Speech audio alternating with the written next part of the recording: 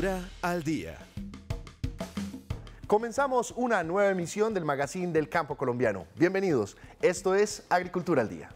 El Ministerio de Agricultura y Desarrollo Rural hace presencia en los departamentos del país para apoyar a los productores locales a través de diversas iniciativas. Una de ellas son los planes de articulación regional o PARES. Conocimos un ejemplo de estos planes en el municipio de Miraflores, Boyacá, mediante el trabajo que realiza la cooperativa Frutimarle y cómo esta asociación es beneficiaria de reservorios de agua que posibilitan el sostenimiento de los cultivos frutales que en esta oportunidad son de durazno.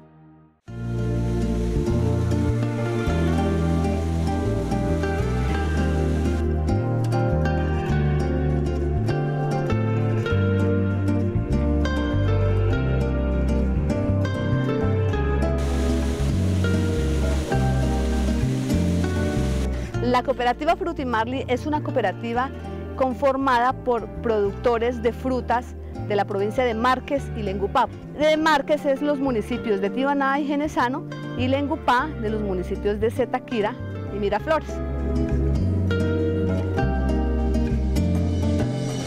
El proyecto que se presentó a la gobernación y del cual nos ayudaron, y que fueron los recursos del proyecto PARES, eh, está beneficiando a 80 productores, de los cuales 38 eh, son eh, para reservorios y 42 familias se benefician con tanques.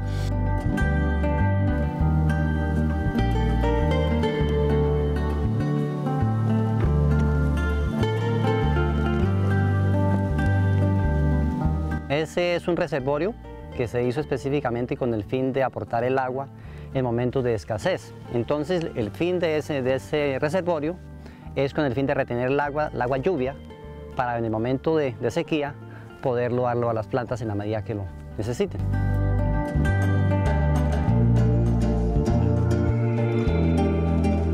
Estos reservorios son unos reservorios donde almacenan 200 metros cúbicos de agua y el objetivo es que con estos reservorios que se les financiaron con recursos del Ministerio de Agricultura y Desarrollo Rural, es que ellos tengan eh, producción constante, que tengan mayor producción porque el agua nos va a dar mayor, mayor producción del cultivo y pues que mejoren su calidad de vida, que mejoren sus rendimientos, al menos que ellos permanezcan en el campo y que sus familiares de ser posible se devuelvan de las grandes ciudades para producir el campo y hacerlo más rentable.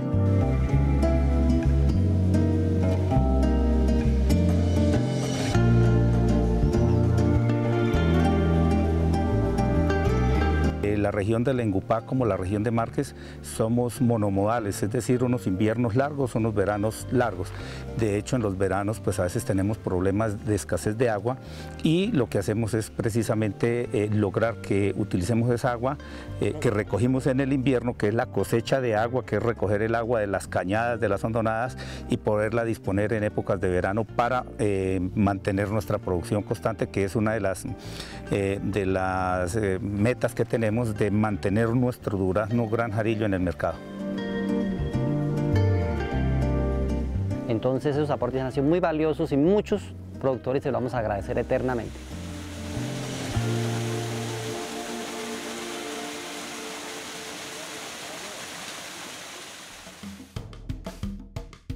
Programas institucionales como las alianzas productivas ofrecen garantías para que los productores lleguen con sus alimentos a las mesas de los consumidores. A continuación los invitamos al municipio de Cubarral, en el departamento del Meta, donde conocimos a Lina Quiroga, una mujer rural que se dedica al cultivo de café y es beneficiaria de este modelo productivo, el cual le permite a ella y a su familia mejorar su calidad de vida y abrir espacios para la comercialización de su producto.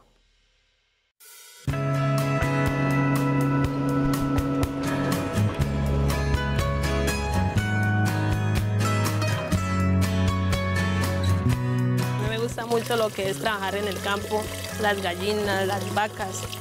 Y todo lo más me gusta el material afuera, o sea, trabajar afuera. Aquí en la cocina porque, porque me toca, pero todo lo más en el campo, afuera. Coger café, eh, abonar.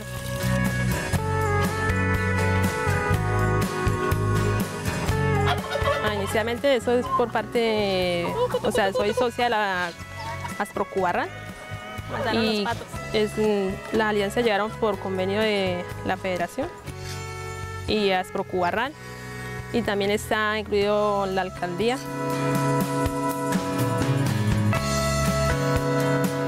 Digamos que en el departamento del Meta tenemos 11 municipios con vocación cafetera, pero el tema de alianza se ha desarrollado específicamente en donde estamos hoy, que es Cubarral, en lejanías, en mesetas. Sabemos que hay algo en Villavicencio y en Acacias también. En El Dorado también, que es el municipio colindante aquí, vecino, también se han hecho alianzas estratégicas.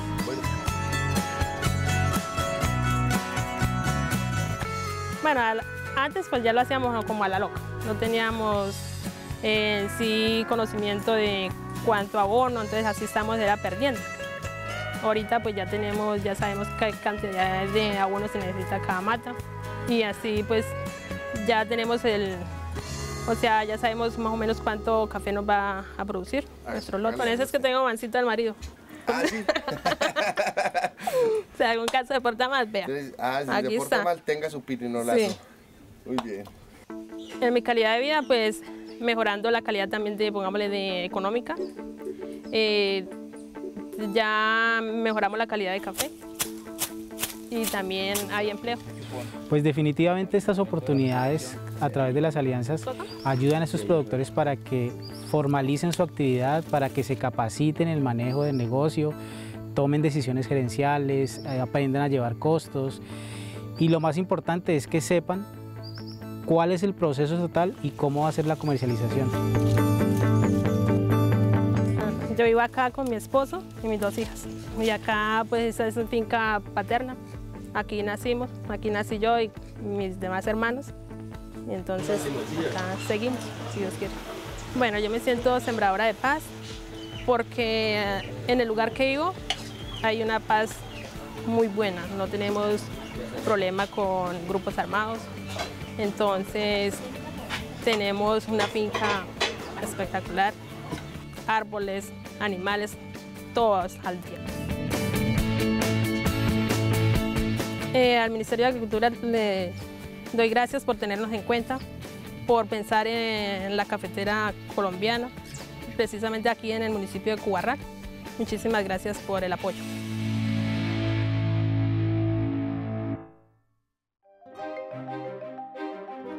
regresar de la pausa continuaremos con el recorrido por las zonas rurales del país, aquí, donde más? En Agricultura al Día. Ya regresamos.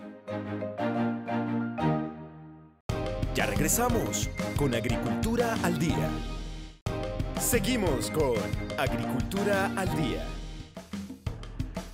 A continuación, resaltaremos el valor de uno de los frutos con mayor proyección, especialmente en materia de sustitución de cultivos. Hablamos del cacao.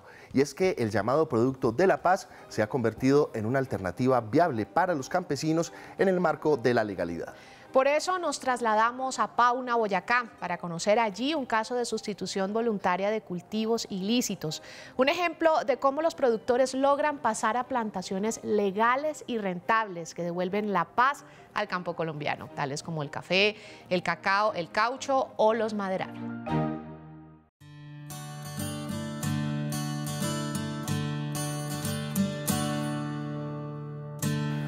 Hoy nos encontramos en el departamento de Boyacá, municipio de Paula, la región occidental del departamento. La región durante mucha época fue una región altamente productiva, agropecuaria. Aquí se producía cacao, café, caña de azúcar, todos esos productos que era el sustento eh, de las familias y de la economía en general. Luego vino la minería. Hay una gran bonanza minera acompañada de un conflicto entre esmeralderos. Tal vez el 99% de la población tuvo que ver con la minería ilegal de esmeraldas éramos guaqueros, la mina nos permitió tener plata. Fácilmente un agricultor iba hacia 20, 30, 50 millones de pesos. En esa época era mucha plata y ahí se perdió mucho más el control de la sociedad.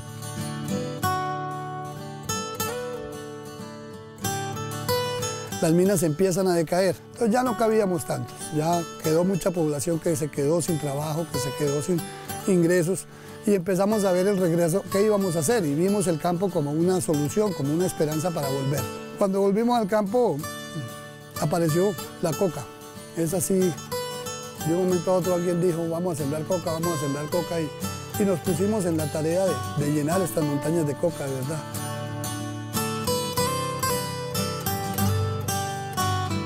durante esos 6, 7 años que estuvo el narcotráfico, mucha más descomposición social y mucho más problemas. La problemática se profundizó, vinieron los grupos al margen de la ley. Con base a eso dijimos, oiga, ¿qué podemos hacer? Nuestros hijos están recibiendo un mal ejemplo y apareció el cacao como una alternativa. Y ahí comenzó un proceso extraordinario, muy bonito que poco a poco fue transformando la vida nuestra y la de mucha gente en la región. Yo siempre he dicho que el negocio del narcotráfico era tan malo que los campesinos lo cambiamos por 200 mil pesos mensuales que nos daban. o sea, es insólito. Parecía que era imposible sacar a la gente de ahí y resulta que no era tan imposible. La gente estaba cansada de esconderse, de ser ilegal, de tener grupos al margen de la ley dominándolos. Y de un momento a otro dijimos, vamos, vamos a erradicarla y la erradicamos.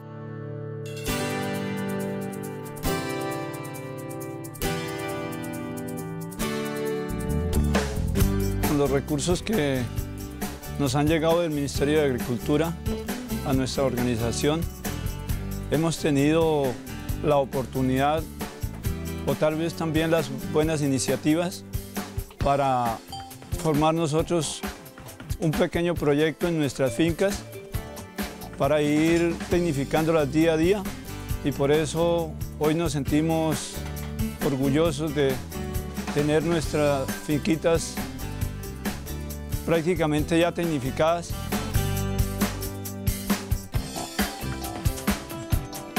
Para nosotros haber cambiado los cultivos ilícitos por el cacao es porque el cacao nos genera salud, vida, nos ayuda en la alimentación de los niños que sea sana porque el chocolate es un alimento sano, saludable. No es lo mismo tener cultivos ilícitos que todo está a la escondida que tener los cultivos que salen a la flor de la vida, a la flor de la luz, que todo el mundo dice, uy, qué cultivos tan maravillosos que hay en esta tierra. Entonces el cacao está en todo momento, está dando, está al flote en la variación del cacao. Entonces no tiene que esperar uno dos años esperar a ver si le da o no le da el cacao. Entonces uno dice voy a ir a chuparme una pepita que me dio sed. Simplemente la baja y la parte con la misma mazorca y así obtiene uno el chupo. Muy rico, muy delicioso ese sabor entre lo dulce y lo picantico que tiene. Entonces saborea uno ya guarda sus pepitas y viene y las coloca al secader para después ir, molerlo, secarlo y pasarlo por el molino ya sea hace con harina, se bate y se echa a la ollita para decir tengo un sustancioso chocolate rico y delicioso. Colombia siembra paz.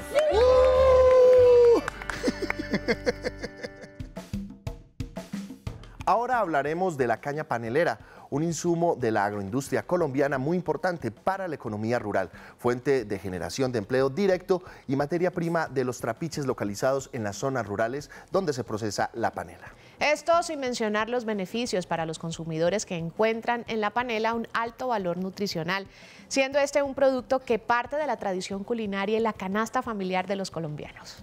Por eso hoy en Agricultura al Día compartiremos con los productores rurales algunos consejos relacionados con la caña panelera y para ello visitamos un cultivo de caña en el municipio de Gachantivá, departamento de Boyacá, contando obviamente con el apoyo de la cartera rural de nuestro país.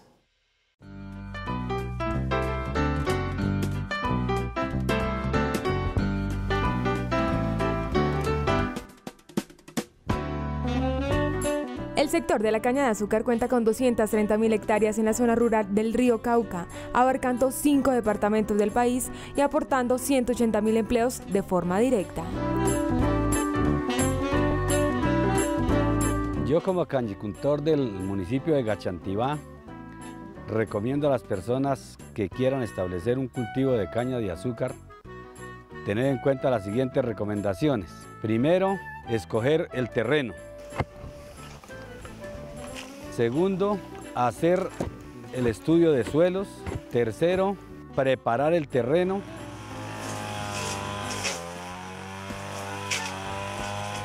Cuarto, escoger la semilla más adecuada, la que tenga mayor rendimiento, mayor productividad. Quinto, aplicar los beneficios y los nutrientes que sean necesarios en su debido tiempo. Hice esto, eh, hacer la molienda cuando la caña realmente esté para moler, no dejarla, no dejarla madurar mucho, ni tampoco molerla verde. De esta manera pues se obtienen buenos resultados, hay una ganancia económica y así podemos seguir adelante con esta clase de cultivo de caña de azúcar. Con el proyecto del, del Pacto Agrario pues estoy estableciendo mi cultivo de una hectárea de caña. Eh, ya hemos hecho los estudios de suelos, ya eh, iniciamos la preparación del terreno, ya escogimos la semilla que se va a sembrar y tenemos la expectativa de que este cultivo que vamos a hacer con el apoyo del Ministerio de Agricultura podamos mejorar nuestra calidad de vida y así seguir extendiendo el, el- el cultivo de la caña de azúcar.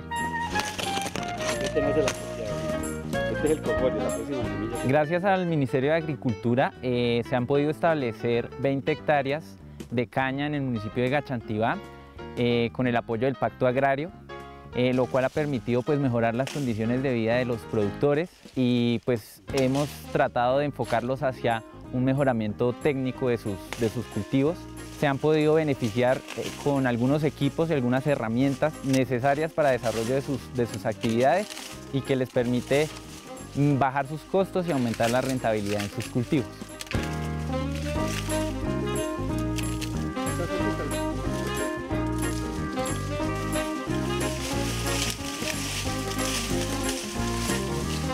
Un agradecimiento muy especial al Ministerio de Agricultura y a Del Dinosaurios por adelantar este proyecto.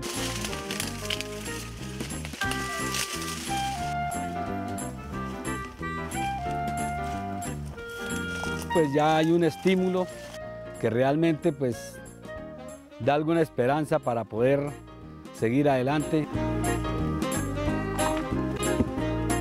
Los productores de caña de azúcar y el Ministerio de Agricultura y Desarrollo Rural unen esfuerzos para impulsar este importante sector agrícola y aumentar su producción.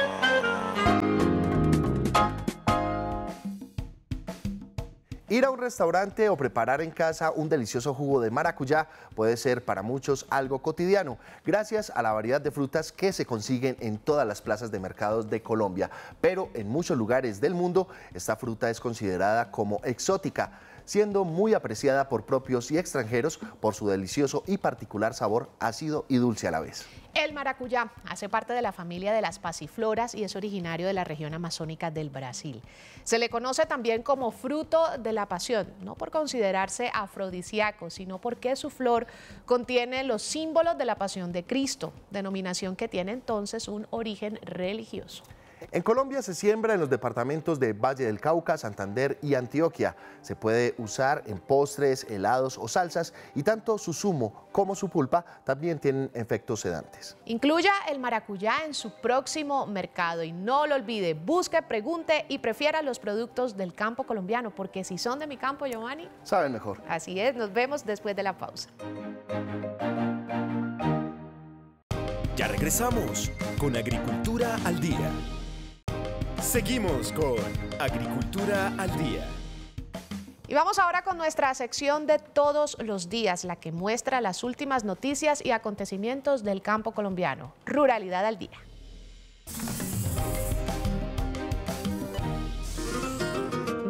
En su visita a la zona veredal ubicada en el corregimiento de Charras Guaviare, el ministro de Agricultura y Desarrollo Rural, Aurelio Iragorri Valencia, anunció la aprobación de tres alianzas productivas de plátano, leche y ganadería doble propósito, por más de 2 mil millones de pesos para beneficio de las comunidades rurales del departamento del Guaviare. El jefe de la cartera agropecuaria también destacó que se van a desarrollar 49 alianzas productivas en los departamentos donde están ubicadas las 26 zonas veredales transitorias. En el contexto de esta visita, hubo una reunión con líderes comunitarios y autoridades locales para escuchar las necesidades de los habitantes de la zona. Adicionalmente, y en concertación con la comunidad rural que habita en las zonas aledañas a la vereda Las Charras, se establecieron 81 cupos para que campesinos accedan al programa Formador de Formadores que el Ministerio de Agricultura realiza en alianza con Panaca. El CONPES lácteo, como se denomina la política agropecuaria de fortalecimiento para este sector, fomenta la competitividad de medianos y pequeños productores. En el caso específico de Cundinamarca, a través de este acuerdo se busca apoyar a los pequeños lecheros en sus procesos de tecnificación, gracias al trabajo conjunto entre la cartera rural y la Secretaría de Agricultura de este departamento.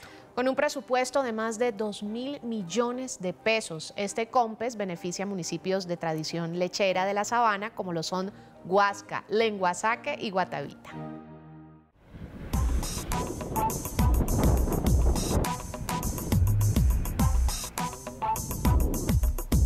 Hace unos años no teníamos la, cultura de guardar comida para nuestros ganados en tiempos difíciles como el verano y los inviernos.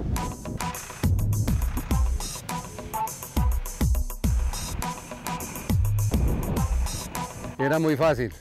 Llegaba el verano y había que sacar los animales a la plaza, venderlos y cambiar de actividad y al próximo año volver a arrancar el negocio.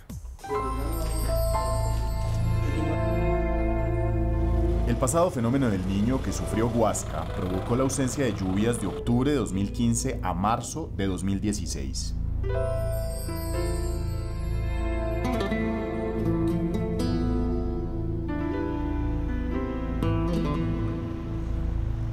En una época de verano de, de escasez de comida o de invierno fuerte que no podamos sacar las vacas a pastoreo, una vaca, por lo regular, una vaca normal se come entre 40, 60, 80 kilos de comida de forraje verde. La solución para que pequeños y medianos ganaderos no sucumbieran ante la irregularidad del clima la trajo el Ministerio de Agricultura en cooperación con la Unión Europea.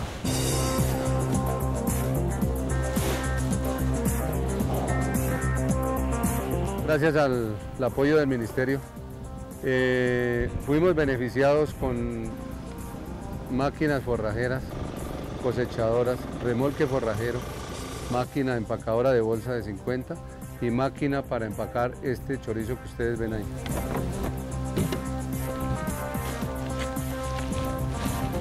Cada chorizo permite almacenar entre 60 a 70 toneladas de comida para alimentar un promedio de 10 vacas durante un semestre.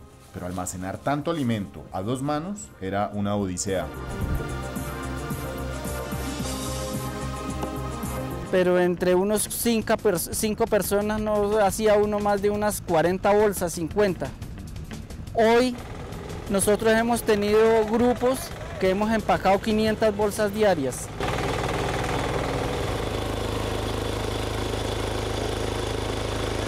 Tengo por ahí unos 500 bolsas ahí. Y ahorita arriba tenemos otro corte que son 12 bultos de sembradura. Tenemos un corte ahí para dentro de unos dos meses. Por lo menos si llega a haber verano, no vamos a salir con las vacas a, a la plaza de ferias. Vamos a quedarnos otros días aquí. Esta va a ser la solución para muchas personas del campo. La leche es 87% agua y 13% proteína, grasa y vitaminas. En ese 13% radica su esencia y se logra a partir de la alimentación del ganado. El problema es que el concentrado de las vacas se subió de precio. Estamos hablando de mil y pico de pesos el kilo de concentrado, 1200, 1300, depende de la línea. El Ministerio de Agricultura le sembró entonces a cada una de las asociaciones del COMPES 5 hectáreas de avena, arveja y vicia. Les doy más porción de silo de maíz y de avena y le mermé un poquito al concentrado. Sí, hemos mejorado gracias a ese convenio. Eh, nuestra empresa que compra aquí en la arboleda nos sostuvo el precio por la calidad y también por la cantidad porque una sola persona saca 20 litros de leche caliente y, el precio es muy diferente a copiar 2.000 litros en un tanque frío a mantenerlo limpio con todas las higiene, con toda la higiene que, que se requiere. 300 mil millones de pesos destinó el Ministerio de Agricultura para mejorar la competitividad, la productividad y la calidad de la leche de cientos de productores, como fue el caso de Counión en Huasca.